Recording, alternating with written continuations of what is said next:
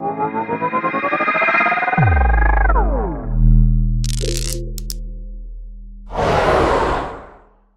next up, we have a gentleman who is going to talk about the future of blockchain interoperability. It's taken me many years to be able to say that stupid word.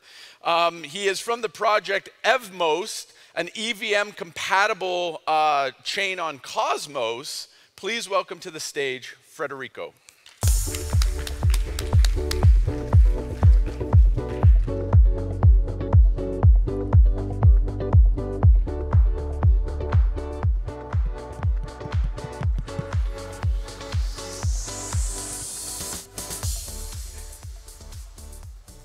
Hey everyone, um, thanks for having me today. I'm Federico Kunze-Kühlmer and I'm the co-founder of Evmos, which is an EVM compatible chain on Cosmos. Today I'm going to talk about Evmos and the future of blockchain interoperability. So first, what is Evmos? Evmos is a fully IBC enabled uh, EVM chain on Cosmos.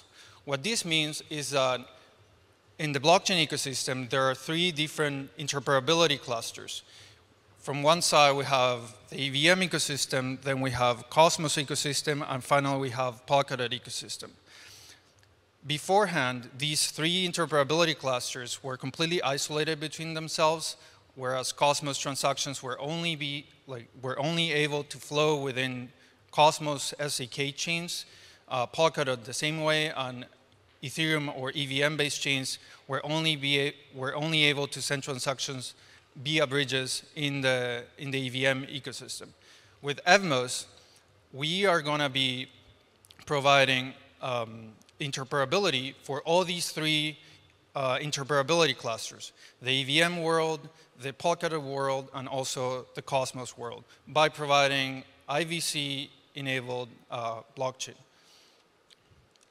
So Evmos is going to be the point of entry from all these different ecosystems into the Cosmos uh, interchain world. We're going to be doing this by um, implementing IBC and EVM bridges so that all the EVM compatible chains like Moonbeam, uh, Polygon, Ethereum, and others can bring their assets and liquidity directly into the Cosmos ecosystem. But interoperability is not the only thing that um, the, the, only value proposition from Cosmos. We're also implementing a novel tokenomics and also a novel airdrop mechanics so that our users can be fully aligned and aligned in the long term.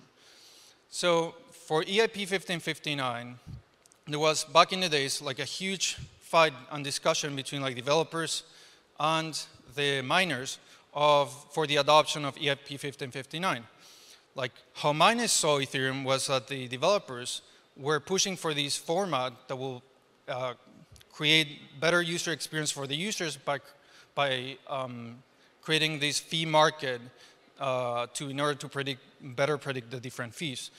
But in reality, the Ethereum ecosystem is uh, like on the, on the specifically the users um, have different like types of users. One of them is like holders, miner, developers, uh, application developers, and also DeFi users. So the core developers were only one small part of the entire Ethereum ecosystem.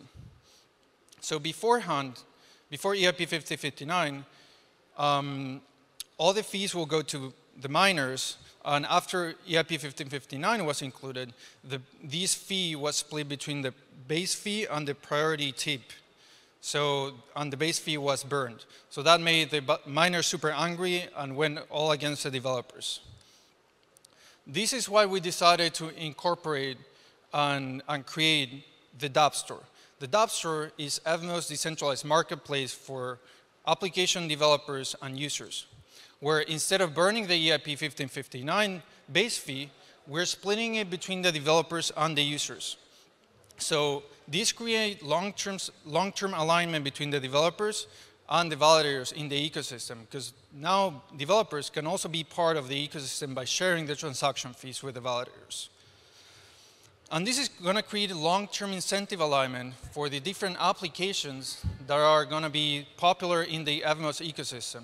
We currently have, for example, Diffusion, than on, on, on other applications that have been creating these um, different incentives also for the users, not only for the developers, but we are also incentivizing users um, with our um, usage incentive model. So the problem with all these liquidity mining programs and DeFi programs is that um, it's not su sustainable in the long run because um, it's usually a one-off uh, payment to the different applications. Um, and it's not community owned, not fully transparent on what are the criteria uh, for these applications to get some of these fees and, and, and, incentives. And it doesn't really reflect the traction of the project and the adoption for the different users. And also finally, the TVL doesn't mean that there will be more users adopting these different DeFi applications and in general the protocol. That's why we incorporated user incentives in our, uh, in our uh, token model so that applications and users can get 25% um, of the block uh, of the tokens minted on every epoch um, so that these can go directly to users that interact with these um, smart contracts. And how does it work? Um, developers or any user through governance can register an incentive through a governance proposal. So you define a contract specifically that you want to incentivize, how much allocation you want to put into this, um, into this specific contract, and you also define, define how much, um, like for example, like the uh, duration of this incentivization. Once a proposal is approved, all the transactions will start collecting um, gas into these different gas pools um, so that users will be able to share a pro rata uh, amount of tokens to the total amount that was spent of gas that was spent in this contract. And finally, after one week, you will be able to um, collect uh, the rewards from these users, usage incentives. So right now, we already have an application on Evmos that was able to successfully create an incentivized application proposal for their smart contract. And they're able to incentivize all their users besides all the LP farming incentives that they have implemented natively on their protocol, all their users are already getting transaction, uh, all these incentives from Evmos tokens, besides all the diffusion tokens.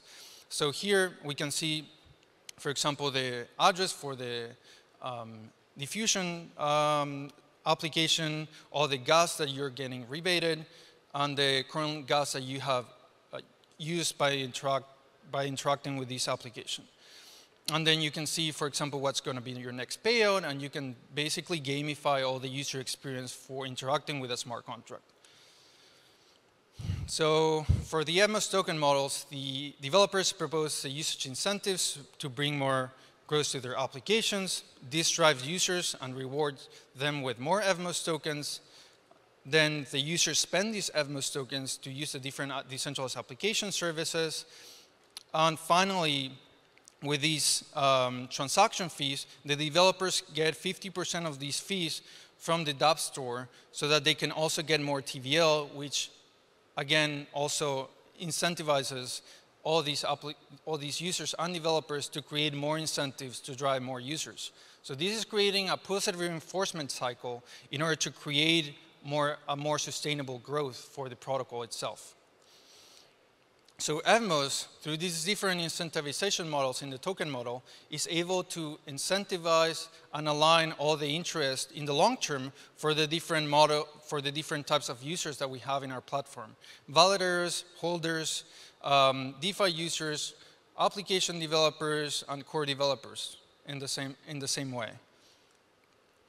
And now I'm going to talk a little bit more about interoperability and the next future, the future of interoperability. So Evmos um, implemented an IBC-enabled ERC20. How does this work? So usually you have, from one side, you have like the Cosmos environment that is processing all these Cosmos transactions, IBC, staking, etc. And then you have the EVM. Usually these transactions will not compatible between each other because of the different transaction format, the different types, etc. And it's basically another, um, another runtime within the chain. We created a model that allows you to, through governance, create a mapping, one-to-one -one mapping between like the tokens that are represented as ERC20 and Cosmos.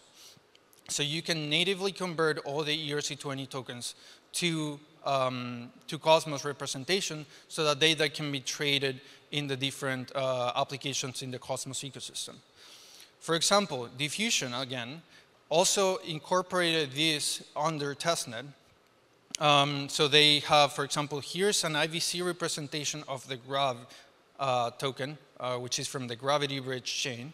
Um, and they are able, through this ERC20 conversion, create a a liquidity pool between like the Evmos token and this IBC token that was sent via IBC from Gravity to Evmos and then converted to an ERC20.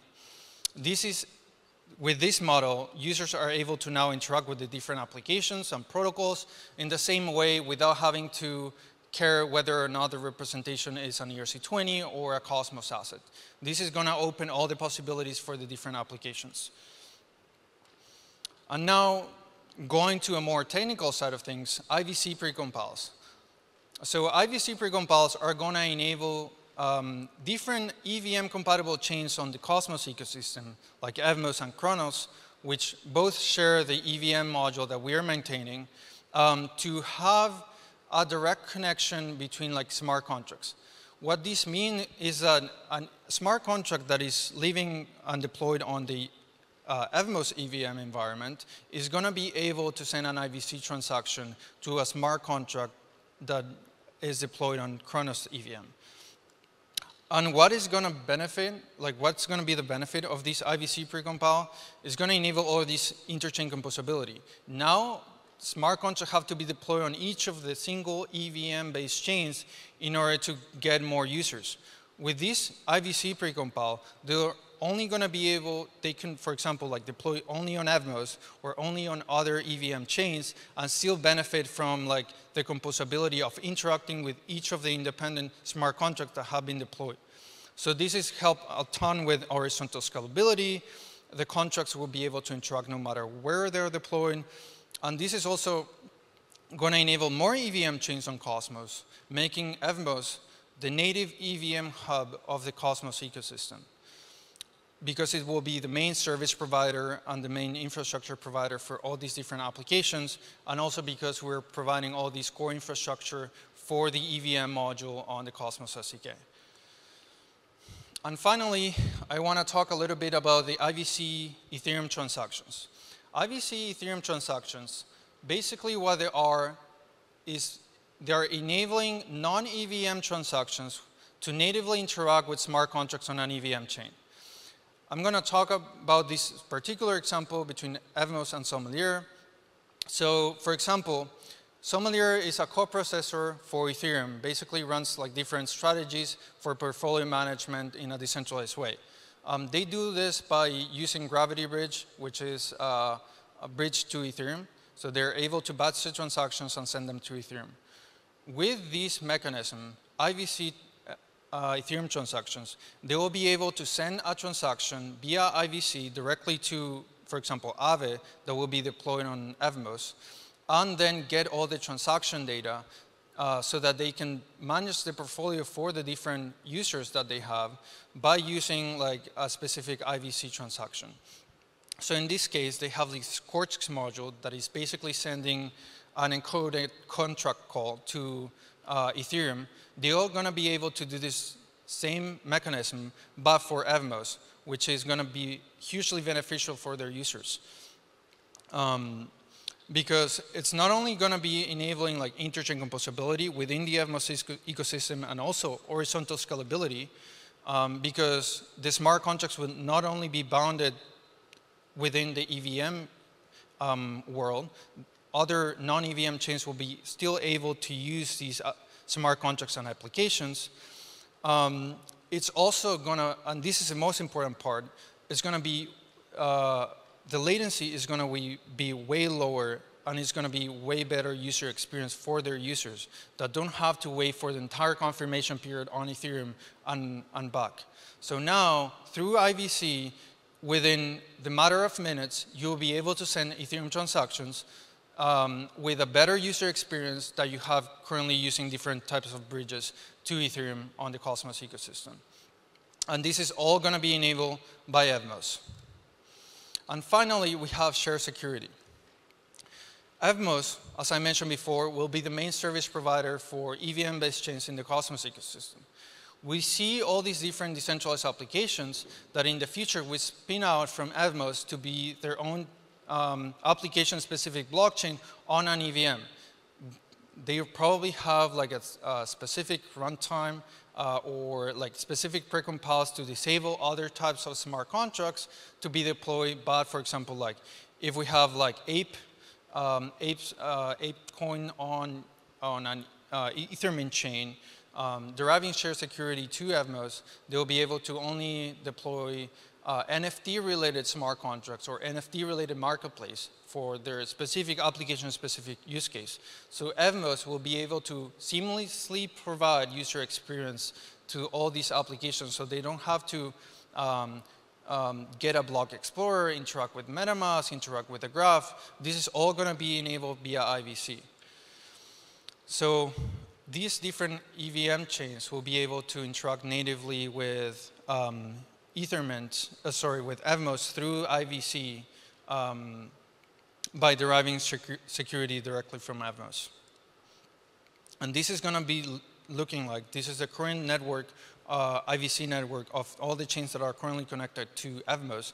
And it's going to be the, looking the same way, but for all these different decentralized applications, they're going to be deriving security directly from Evmos with all these different connections. So um, Evmos is really excited to be pioneering the uh, interoperability for EVM-based chains and also expanding the interoperability of Cosmos to the EVM world. Thank you so much.